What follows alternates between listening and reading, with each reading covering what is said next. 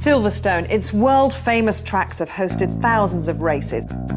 Competing today, 14 of the hottest pushchairs on the market, donated by the industry's leading brands. They've been entered into three heats budget, mid range, and top whack. To put them through their paces, we've hired some crash test mummies. So, what are they looking for in a pushchair? What was important to you when you chose your buggy for your kids? How heavy it is, really. It needs to be sturdy. I need to be able to get a lot of shopping in there. And what about collapsibility? Yeah, I need to be able to get it down in a real uh, rush. We're going to put the buggies through a series of tests to check for the key things that parents look for. So, of course, we had to test stability. Now, I know we're not supposed to, but show me a mum who hasn't just once put her shopping on the back of her buggy. So we've designed Buggy Buckaroo. Go on, girls! So it's over to our commentator. Thanks, Gabby. For this test, we've weighted each buggy 8 kilograms, about the weight of a six-month-old baby. And we're providing each of our stunt mums with some basic groceries. Every manufacturer tells you not to do this, but how much weight can each buggy take in these shopping bags before they topple over? First, we're testing our budget pushchairs, all retailing between 140 and 180 pounds. Parents, don't try this at home. And they're off. Are our buggies up to the challenge? Each shopping bag contains a can of beans already, but will they cope with a bottle of juice? Oh my word, looking good.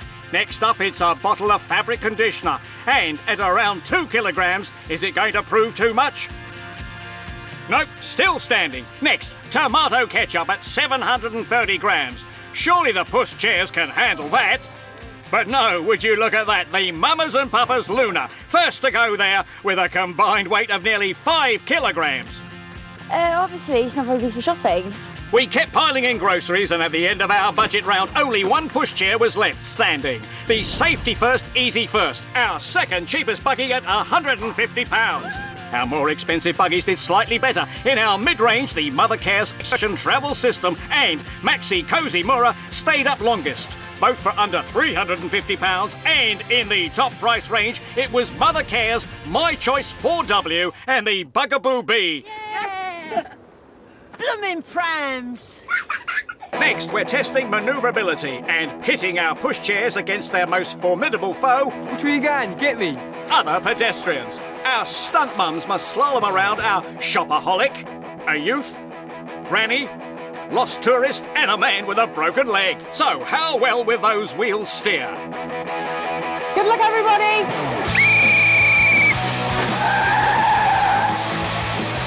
The old lady's going to stick out. Let's see how they do on the return leg. There. You can see those wheels lifting off at the front there. Got hit on the end there by the bag. Well done. What's the verdict from our testers, Gabby? So how did that feel for you? Even though the buggy itself is very light, it centres quite well and it does stay on the ground and it's quite manoeuvrable. Oh, she's had a fall. It was like um, a shopping trolley in a supermarket, the ones that just do not do what you want them to do. And again, the wheels have gone. It was brilliant, quite light, so it's easy to move about. So yeah, it's fun, great fun. The crash you had with the old lady, I, I think that was more your fault than hers. Oh! Oh dear, I think that should go to a steward's inquiry, Gabby. In that round, a Quinny Buzz proved you get what you pay for at £420. But at only £140, the budget Maclaren's bought cornered like a dream. I bet they've been getting tips from the Formula One team. What's next, Gabby? Every mum, dad, granny or carer who's ever pushed a buggy and tried to get it onto a bus knows just how difficult that can be. So we couldn't leave that out of our testing, could we? Yes, it's a busy bus to board for those stunt mums. The driver's grumpy. There's no room, you'll have to fold that. The other passengers impatient. And there's no room for another pushchair. How quickly can our mums fold the buggy while still holding the baby? Sorry, so It was a slow start, but there were no problems with a budget Mothercare Vesta and the premium Bugaboo Bee. Our stunt mums got them down with just one hand. And what about this mid-range Quinny Speedi? At £265, it's down quick, but that is far from compact. The aisle is totally blocked. The other passengers are not going to like that. And finally, this stunt mum is having a nightmare with a £420 Quinny Buzz. It's down. It's up. It's down. It's up. Oh dear. But I do wonder how much of this is down to operator error. So, a mixed bag of results here, but it was a challenge that certainly got our testers worked up. That was a huge struggle. It's it's just awful having to hold the child, to try and get around everybody, to try and then find all the levers that are on these buggies. So there's absolutely no way you can manipulate bags, buggies, and child. Our last challenge was to test those safety harnesses. So, over to you, Gabby. So this one here is Buggy Bronco, and the buggy is attached to the place where the bucking bronco would normally be attached, and it's going to be subjected to the same kind of vigours that a human would on a bucking bronco. Thanks, Gabby. The mums have strapped in the doll, so let's bronco. Oh my god! Is she staying? She's staying. Oh! I should point out, Gabby, these dolls are lighter and smaller than a normal child.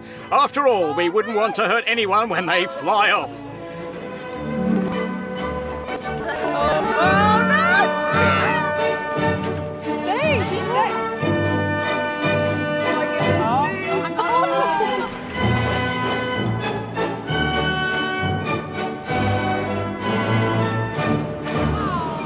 So, could any buggy beat the Bronco? This premium Maclaren Techno XLR went close. Its safety harness kept the doll in the pram for a whopping 1 minute and 10 seconds.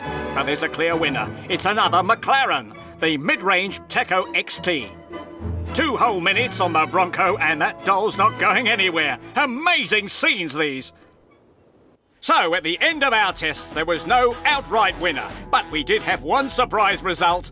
Those cheaper buggies did usually manage to keep up with the most expensive. So, paying top whack may not mean you get a better performance. So, that's all from Silverstone, and it's now back to the studio.